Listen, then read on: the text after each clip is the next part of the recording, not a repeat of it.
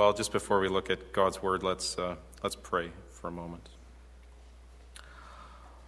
Lord, I thank you for the gift of this place, this building that you've provided from saints that have gone before us, who have faithfully gave, who faithfully sacrificed, who faithfully worked, to have a place where people might gather together to meet with you, to sing your praises, and to hear from your word. God, I think of brothers and sisters in this world who have no place to meet because of persecution, because of injustice, because of lack of resource, for, for a variety of reasons, God. There are many who don't have a place to gather, and yet they gather anyway as your church, as your people, to do the very same thing that we're doing here this morning. But, oh Lord, I, I believe that is a special gift to have this place, to have this time, to have this freedom to gather together and to worship you. Lord, may we understand, may all who are gathered here today understand that it is, we have come here to worship you, to make ourselves low before you, and to exalt your name and your being. Lord, I thank you for this time of reflection upon your word. I, I thank you for this man, Ezra, who served you. And God, as we look into this book that he has written for us, as we look into the history of your people, the people of Israel, I, I pray that you would help us glean for us lessons on how to worship rightly and help us to see the priority of worship that is in your heart and place it in our hearts as well. I pray all these things in Jesus' name. Amen. All loving parents, all loving parents discipline their children. We do this in the hope that they will alter their poor behavior and begin to behave properly. Uh, usually, a, a punishment or a consequence does not come immediately. Usually there's a period of warning first. Uh, at our house, I, I've recently implemented uh, three rules at our kitchen table uh, because our, our kids have a habit of uh, not behaving properly at the table. So I thought, what's a way we can, we can work with these kids to help them along so that we can actually make it through a meal in a reasonable amount of time? And so I implemented three rules, and it's e- so it'd be easy for them to remember. So here they are chew with your lips closed. That's one thing. And I, it's funny how kids learn rules because whenever I don't, they say, Daddy, what are the rules? Anyway, uh, so chew with your lips closed. That's one. Uh, use nice manners. So say please and thank you. And sit properly in your chair. I can't tell you how many injuries we've had at the kitchen table because kids have fallen off chairs and knocked chairs over. Uh, boy, this is a bunny trail, but I have to tell this story. One time, Olivia was uh, not sitting properly on her chair, and she, she fell off her chair, and the, but she managed to fall off her chair on her feet. The bad part was the chair tipped over, and, and the back of the chair whacked right on her baby toe and peeled a big chunk of skin off, and it was a really ugly scene. But that wouldn't happen if you sit properly. Well, whenever there's a violation of one of the rules, I generally do two things. I ask them to tell me the rules. Uh, because when they violate them so much, it's a really good opportunity to memorize them, right? If they have to say them back to me every time they mess one up, then they'll know them off by heart. And the second thing is I tell them about a consequence for not obeying the rule. Uh, typical consequences in our house are uh, no dessert, uh, no TV, or going to bed straight after bath. That's probably the worst one, going to bed straight after bath. Sometimes our children will listen right away. Sometimes I just have to simply point out that they're not behaving properly and they'll, sorry, Dad, and they'll fall right into line and do what they're supposed to. Other times they tend to test a little bit, you know, test the lines. Usually, after a couple of warnings, uh, usually two or three warnings, I'll say, Do you guys think that daddy is not serious and that it will not give you a consequence? Is that what you think? Oh, no, dad. We believe you'll give us a consequence. And then they go right back to behaving poorly. Well, two or three warnings, and I implement the consequence. And that's generally followed by some sadness and some crying. Uh, last night, Jilly had to go to bed straight after her bath, and it was quite a scene. She was rather unhappy. And I will say to her, and I said to her last night, I warned you. Did I not warn you many times? Last night I warned her six times, which is more than I usually, that's more grace than I usually extend. I'm a hard, I'm a hard guy, you know. I warned you, and you decided not to listen. So now you have to have a consequence. Most parents, myself included, don't enjoy giving their children consequences. I'm sure all of us would be thrilled if our children were perfectly behaved all of the time and we never had to discipline them because they were just the perfect kids. Any parents here today have the perfect kid? No, one! Yes! Talk to Johan after and figure out what he's doing because he's doing something different than I am. Most of us would enjoy it if our kids were just perfect, but the reality is that that doesn't happen. And so we must discipline them. As hard as it is on both parent and child, the hope is that when the consequence is over, they will have learned their lesson and decide to do better in the future. After a consequence is over, I will often tell uh, my children, and I, I told this to Jillian last night, that I discipline them because I love them very much. And I'll, I'll give them a hug and let them know that I'm doing this because I care for them, not just to be a mean dad. Most of the time, when the punishment is over, there's a great sense of relief and joy. You know, the tears go away, it's all done, and we're happy again, and we go back to life as normal. Well, in many ways, that's what we have when we come to the book of Ezra. So, for over the next several weeks, we're going to spend some time together and we're going to work our way through the book of Ezra. Now, uh, this is not a book that we normally go to. So, if you're unfamiliar with where it is, it's in the Old Testament and it's just after Second Chronicles. So, if you're flipping through and you see First Kings, you're getting close, and then you just flip a few pages and you'll see Second Kings, First Chronicles, Second Chronicles, and then you'll see Ezra, and that's where we're going to spend our time. To say that God was patient with the people of Israel is an understatement, to say the least. Time and time again, from the time they left Egypt to the time they entered the promised land, and all through the history of the kings, time and time again, God warned the people about their idolatry about their injustice and about their pride. And time and time again, God would say, There's going to be a consequence. And time and time again, they didn't listen. He had time and again sent seasons of discipline into the life of the nation where they would go through struggle and difficulty, whether it be from other nations around them or whether it be from famine or uh, many other types of discipline. God had disciplined them many times. And again and again, time and again, after they were disciplined, they would go back into their idolatry and their other sins. God sent prophets to warn of the great judgment and destruction that would come if they refused to change.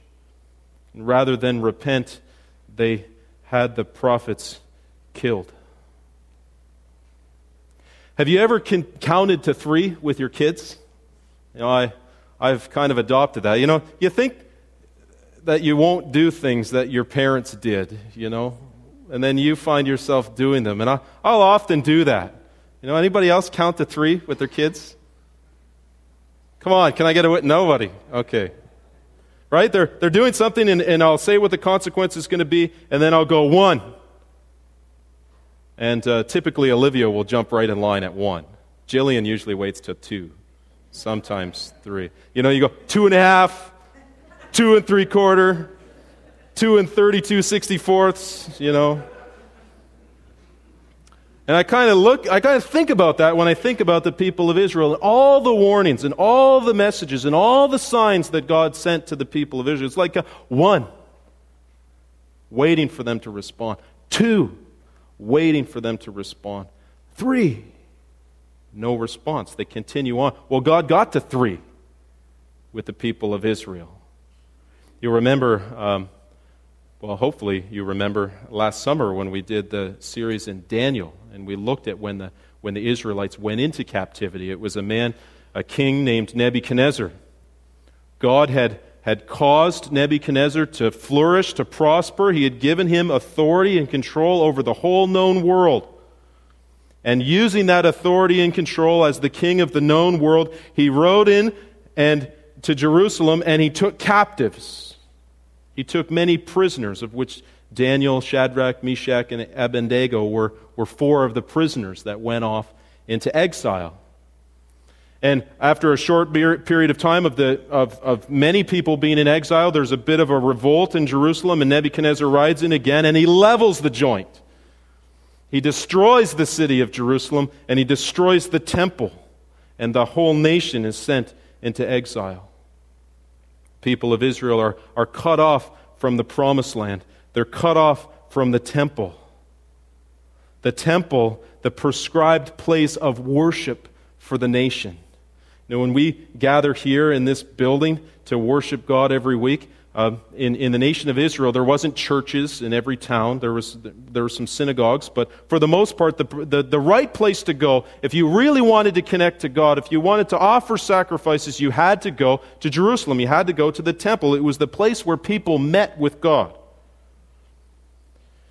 And the book of Ezra begins at a time when the exile was ending, when some of the people were going back to the land of Israel. Verse 1 tells us in Ezra chapter 1, if you have your Bibles open to the book of Ezra, Ezra chapter 1 and verse 1 tells us that the people's return corresponded with the fulfillment of the prophecy spoken through Jeremiah.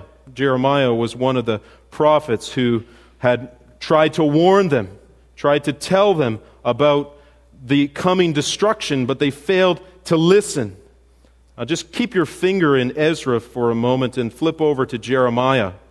Jeremiah 25, verse 11, and we read the prophecy that, Israel, that, that Jeremiah makes about the captivity, about the coming destruction. Jeremiah chapter 25, verse 11. This whole country will become a desolate wasteland, and these nations will serve the king of Babylon 70 years. But when the 70 years are fulfilled, I will punish the king of Babylon and his nation, the land of the Babylonians, for their guilt, declares the Lord, and I will make it desolate forever.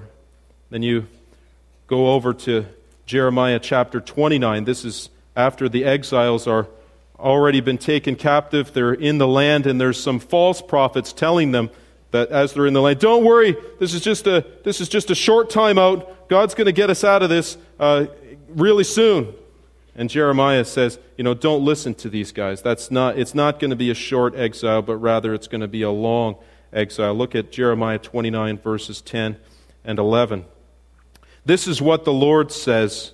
When 70 years are completed for Babylon, I will come to you and fulfill my gracious promise to bring you back to this place. For I know the plans I have for you, declares the Lord plans to prosper you and not to harm you, plans to give you hope and a future. So it's going to be 70 years. But, but here, listen, people of Israel, Jeremiah says. You know, you've never listened before. Try it. listen. When 70 years is over, God will deliver you and bring you back to the land. Verse 1 tells us that uh, as the book of Ezra is beginning, that this was in order to fulfill a prophecy made by Jeremiah. So, Jeremiah, over 70 years prior, foretold how long they would have their punishment, how long they would endure the consequence for their disobedience. You know, I love the Bible because it's so very clear on how to identify a prophet of God. You know, there's uh, lots of people in our day who would claim to be prophets. I've met a few. And uh, so far, they've none, none, none of them have passed the test. You know, we, we just recently experienced in the last couple of years many people talking about the end of the world is going to be here on this day or that day, by the end of this year or that year. Countless times we've had people claim to be prophets. But the Bible tells us exactly how to tell the difference between a true prophet of God and a false prophet. Anybody know? Shout it out there. What they say happens. Isn't that great? If you say something on behalf of God and you're actually speaking on behalf of God, you know what's going to happen? What you say will actually happen. That's easy, right? To tell the difference between a false prophet and, and a true prophet. Well, we know Jeremiah was a true prophet and that his book belongs in the Bible as the inspired Word of God. Why? Because what he foretold on behalf of the Lord came true. Nebuchadnezzar carried off the Israelites into captivity to Babylon in 606 BC. Now, this is going to sound funny because we're thinking we're used to thinking of AD where the numbers go up to move forward in time, but in BC the numbers actually move down to uh, move forward in time. Cyrus the, the, the king who's named here in verse 1, who, who is making this proclamation for the Israelites to return, makes this proclamation in the first year of his reign. And Cyrus's reign over the Babylonians, when he conquered the Babylonians, begins in 536 BC. Now, if my math is still good from school, if you take 606 and subtract 536, you get 70. What Jeremiah said comes true. Verse 1 plainly tells us that it's the Lord that moved in the heart or stirred up the spirit of Cyrus, the king of Persia, to make a proclamation. The proclamation was at the time was that the time of discipline was ending and the people could go back to their land. They could go back to the promised land. Look carefully at the proclamation that Cyrus makes and notice two things. Just read with me uh, verses 2 through 4. This is the proclamation that Cyrus makes. This is what Cyrus, king of Persia, says The Lord, the God of heaven, has given me all the kingdoms of the earth and has appointed me to build a temple for him at Jerusalem in Judea. Any one of his people among you, may his God be with him, and let him go up to Jerusalem in Judah and build the temple of the Lord, the God of Israel, the God who is in Jerusalem. And the people of any and the people of any place where survivors may now be living are to provide him with silver and gold, with goods and livestock, and with a free will offering for the temple of God in Jerusalem. So notice some things, notice some important things that are, are talked about in this proclamation that Cyrus makes concerning the people of Israel. First, God, that is, the one true God, has made Cyrus king. Who is it that establishes rulers and authorities in the world? Well, it's God who establishes rulers and authorities in the world. In uh, John chapter 19, when Jesus was on trial before Pilate, and uh, Pilate is, is a little agitated or astonished at Jesus' refusal to answer questions. You remember that? That, that he, didn't, he didn't respond to the accusations. And, and, and Pilate's like, Aren't you going to answer me? Aren't you going to answer me? Don't you know that I have authority to, give you, to either set you free or put you to death? And, and listen to how the Lord Jesus responds. This is in John chapter 19, verse 11, to this claim that Pilate makes. Jesus answered, You would have no power over me if it were not given to you from above. Who put Pilate in his place? Well, Jesus says it's God put Pilate in his place. In Romans chapter 13, when Paul's talking about the need to submit to rulers and authorities, he says, Everyone, Romans 13, verse 1, everyone that means all of us, no one, no exceptions. Everyone must submit himself to the governing authorities, for there is no authority except that which God has established. The authorities that exist have been established by God. you know, that also means that they're accountable to God. In case, you know, you're watching the TV and you're thinking, how can the president or how can the prime minister do this or that? Uh, bear in mind that God has put them in that place, but He also is going to hold them accountable, that every human being, great and small, will stand before the throne of the Lamb to be judged. God uses rulers and authorities of this world to establish and bring about His sovereign will in the world. Now, you say that doesn't make a whole lot of sense because, like, not everything is peachy keen in the world. But God does this for two reasons. There are two reasons why God establishes authorities. One is to bring about his blessings to a people who live in obedience to him. And you can see that in the nation of Israel. When they sought the Lord, when they did that was that which was right, God set good kings. And it went well for them. They experienced God's blessings. When they rejected him and they went in a different direction, there were less than good kings, and that took them in an even worse direction. So, one reason is that God uses authorities to bestow his blessings upon people. The second reason is that God uses the rulers and authorities to bring about his judgment on a nation. I wonder where we are at as a nation.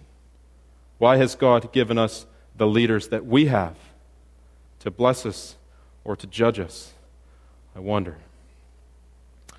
So, first, God has established Cyrus as king, and God establishes all rulers and authorities in the world. The second thing that we should notice from this proclamation is that God has given this man, this king, instruction to build a temple.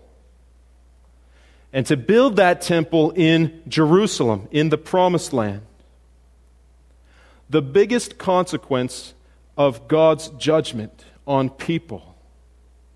The biggest consequence that God dealt out to the people of Israel, and the biggest consequence that He can deal out to us, is that He separated them from Himself. The temple is where, in, in the Old Testament, is where He chose to manifest His presence in a special way. You can read about this in the book of First Kings when the, when the uh, temple is completed, when Solomon finishes all the work on the temple and all the gold and all the, all the craftsmanship, it all comes to an end, and they're dedicating the temple, and God's glory, God's glory descends and dwells within the temple in a special way, such that the priests have to leave. And this is where God chose in the Old Testament to manifest his glory in a special way.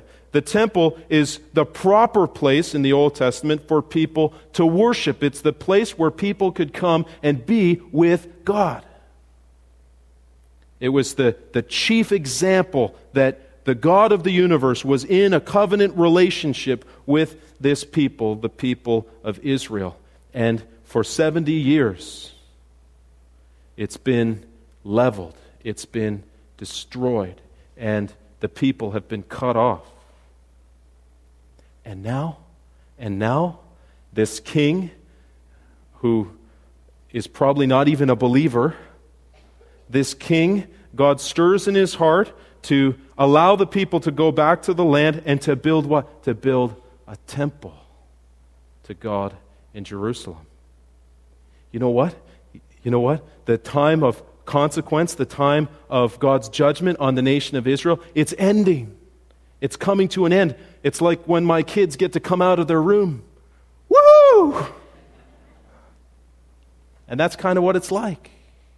The time of consequence is ending. So, so God has established his rule. He's given him an instruction to build the temple. And thirdly, notice in verse 3 the temple was to be built by Israelites. Cyrus could have easily have contracted a bunch of pagan workers and said, "You know what? Go build me a building in Jerusalem and we'll say it's for God." But that's not what God stirs in his heart to do. What God stirs in his heart to do is, look, let the people go. Let my people go so that they might come to Jerusalem and they might build the temple. God was calling his people home. He was calling them to himself. And I believe that just as in that day when he was calling his people back to himself, I believe that's the greatest delight of God's heart, to call his people back to himself. And I believe it's still the greatest desire of his heart, is to call people to himself. God delights, this is the, if you're taking notes in the bulletin, this is the first point. God delights in providing his people with the opportunity to worship.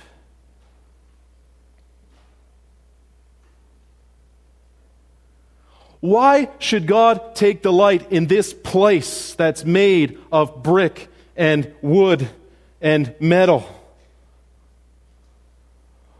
Because of the wood and the brick and the metal? No. God delights in this place because it's an opportunity for His children, for His people to come to Himself and to worship. And it is genuine, wholehearted worship in a building like this that brings pleasure and delight to the heart of God, not the building itself. If you thank God, and, and you should thank God for a place with four walls and a roof and land which, the, which Christians can gather on to worship. We should thank God for that. And it is not to delight in, make much of the building itself. That's not why God has given us this place. God has given us this place so that we can delight in and make much of Him. God delights in providing His people with opportunity to worship. There's another important point to notice about Cyrus's proclamation. Notice verse 4.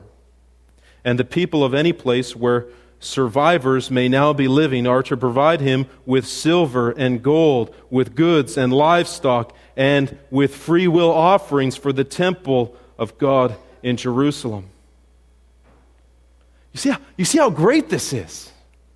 You see, not only are they free to go back to the land, which is awesome. Just imagine being carted away from your home for 70 years and living in somebody else's dungeon for that long. And now, and now you're out of jail and you're free to go home. I, I don't know about you, but I love, I love to go home. I can vividly remember one summer as a Bible college student, I worked in uh, a place called Gas City, Indiana, uh, driving a fireworks truck. And there was one there was one point in the summer where you had to they were looking for volunteers to go around to all the stores that they had delivered fireworks to and clean up or make sure that the displays were in good order. Well, um, one of the places that people had to go was Detroit. And everybody knows Detroit's just across the river from Windsor, right? Um, I have to say, I was in some sketchy parts of Detroit at times and a little afraid. But it was the invitation to go home. I, I, I jumped at it. Yeah, send me there so I can go home. Uh, I, I, Michelle will tell you, I, I looked like I was in pretty rough shape. I had let a, like I had like a two inch beard. I had lost so much weight because you never take care of yourself when you're living, you know, as a Bible college student. Uh, so I was very thin. I, I, had a big cut on my face. I kind of looked like a pirate, actually. If I had a, if I had a patch, it'd be perfect. But I still remember. I still remember when I crossed the border. I drove over the Ambassador Bridge from Detroit into into Windsor. And it's like, man, it's good to be home. It's good to be home. That's what this is like. They're coming. They're coming home. So not only were they free to go back, which is fabulous, not only were they given the blessing to rebuild the temple, that's really great, but they were also given the resources to build it. They were captives. They had nothing. They, had, they didn't have a dime to their name. And yet, Cyrus, through this proclamation, makes it so that they'll have the resources to build the temple. Know, it's important to note that the, the people in the towns and the places where the captive Israelites lived, these people had no great affection for, for Jewish people as they lived in this foreign land. But look at what it says in verses 6 through 8. verses 6 through 8. All their neighbors assisted them with articles of silver and gold, with goods and livestock, and with valuable gifts, in addition to all the freewill offerings. Moreover, King Cyrus brought out the articles belonging to the temple of the Lord, which Nebuchadnezzar had carried off from Jerusalem and had placed in the temple of his God. Cyrus, king of Persia, had them brought by Mithredath, the treasurer, who counted them out to Sheshbazzar, the prince of Judah. This is kind of reminiscent of when the children of Israel left Egypt. You remember after the final plague, and Pharaoh said, Go. That God made the Egyptians favorable towards the Israelites, and they gave them all kinds of stuff gold and silver and livestock and, and, and many gifts. And surely these gifts here that are given to the people of Israel as they're going back in the land are the result of God moving or stirring the hearts of the people to give. Not only were they given much in the way of livestock and money, but Cyrus also gave them back the dishes and the bowls and the articles that were used to conduct worship in the temple. So God was sovereignly providing for these people all that they needed to restore worship. These bowls were the same bowls that Belshazzar, I love biblical names, they're so cool. King of Babylon, who was the grandson of Nebuchadnezzar, in his drunkenness at a party, says, Hey, go get those bowls, go get those cups from the temple that granddad brought from Jerusalem, and we'll drink and we'll offer praises to our idols. And it was that very night that the handwriting appeared on the wall, and that the days of the Babylonians ended, and that they were conquered, and the Persians took power. And now, and now, they were going back to Jerusalem with the intention of being used rightly to worship God. See, God not only provides his people with an opportunity to worship, but he also provides them with the means to worship. And I, I think there's a great lesson for us here, and that is God, God is never, He is never constrained by a shortage of resources. Know this, know this, that at a word, at a word, He can command the riches of the world. No wonder Jesus tells us to not worry. Let us be concerned about being faithful as Christians to, with whatever God has provided for us. We are to be, as Christians, we are to be diligent. We are to be hardworking. We are to be good stewards. All with the calm assurance that God gives us that what His heart desires, He will give us. And He will also give us the means to carry out the tasks to which he has called us. You ever had that thought in your mind? I can't do, I, I know God's calling me to do something, but I can't do it because I just don't. Where's it going to come from?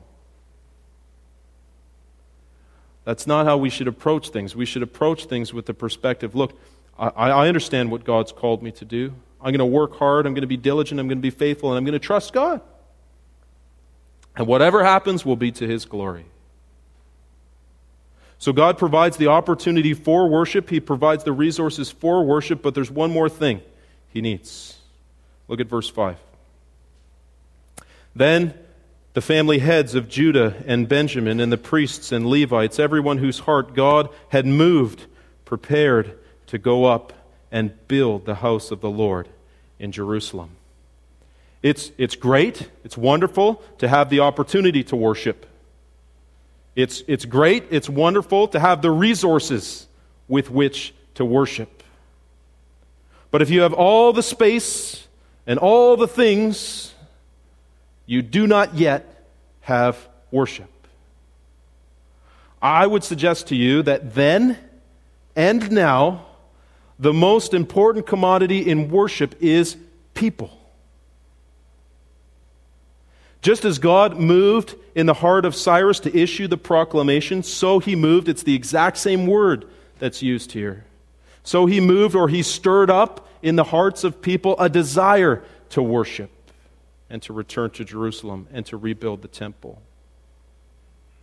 Everyone who truly comes to know God through, through Christ comes to understand that this is the highest and best purpose for which we are made as human beings. To worship. To worship God is the reason why God made humanity. I would suggest to you that even in the Old Testament period where the temple was vital to worship, it was the right place for people to come and offer sacrifices and, and, and to be with God. But even in that time, it was the heart's desire.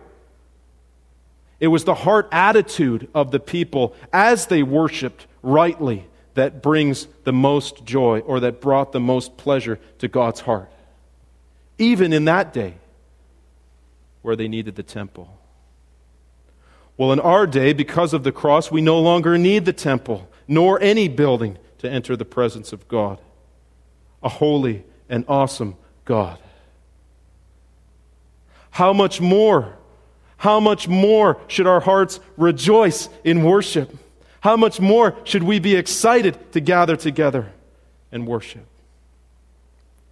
Finally, notice that it's not just one person who goes back to the land. You know, people talk today about, you know, I, I worship God just fine. I don't need the church. I'm not talking to you. You're, you guys are here. I love that. But you may hear others talk about that. Um, we're not going to we're not going to go through this verse by verse in chapter 2, but if you have some time through the week, just read chapter 2 of Ezra and see how many people go back to the land. It's not just one person that goes back to the land, but it's a great number. Thousands of people go back to the land. It's not that God isn't pleased when we individually sing his praises. When you worship God in the shower, he's happy with that. It's not that he's not, he is. But I believe that the power of the gospel is not only about restoring a right relationship with God, but it's about restoring a right relationship with one another and having a vibrant relationship with one another as we join together to sing God's praises and to exalt His name. I believe that when God's people meet together to join their hearts to authentically worship their Creator, it gives God great pleasure. And in turn, He fills our hearts with His joy. Accepting God's invitation to worship, this is the third point Accepting God's invitation to worship is to experience life's greatest blessing. I can say this with 100% genuineness and honesty. I am so glad to meet with you here in this place week after week. This ought to be the highlight of the week for you and for me. And I hope that you are eager, eagerly, or that have the same amount, have the same amount of eagerness. Should have chose a word other than e. To worship together.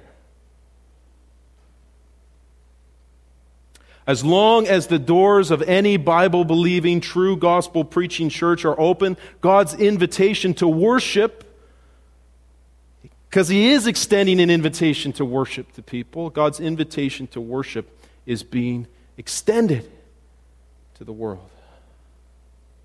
That's what we want to be about. That's who we want to be as a congregation is people who delight in gathering to join our hearts together for the common goal of exalting the name of our God and Savior, the Lord Jesus Christ. Let's pray.